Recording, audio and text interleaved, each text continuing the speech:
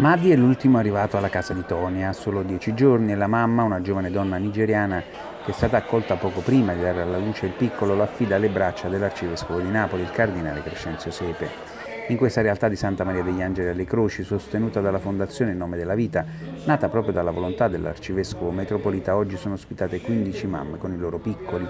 Un angolo di paradiso per giovani donne che hanno conosciuto l'inferno dell'abbandono e della sofferenza. Oggi, come ogni anno, la consegna dei kit scolastici ai bambini del quartiere, quaderni, penne, matite, colori e squadrette, la cancelleria che serve per affrontare il nuovo anno, almeno per i primi mesi, accanto all'arcivescovo Donna Paola Grimaldi, presidentessa della Fondazione Grimaldi Onlus, e la signora Lucia Cafarelli, moglie del patrono del gruppo Tufano, ma anche la scienziata Anna Maria Colau, oltre ai vertici della Fondazione.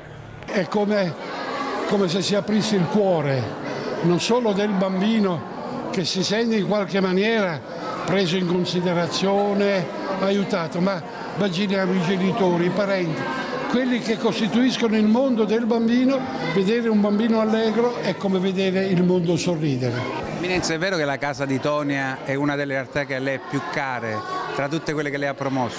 Ma la casa di Tonia, sapete, nacque da questa urgenza, da questa necessità di evitare che tante donne soprattutto allora straniere, non sapevano dove andare, cosa fare e soprattutto si correva il grosso pericolo di farle abortire.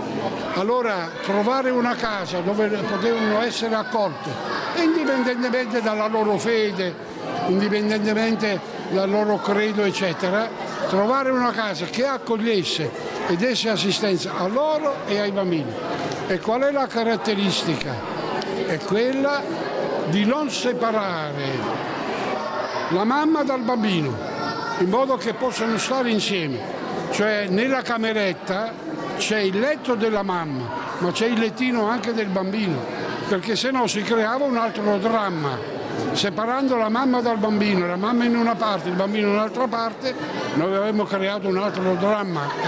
Invece così si cerca anche di farli vivere insieme e crescere insieme.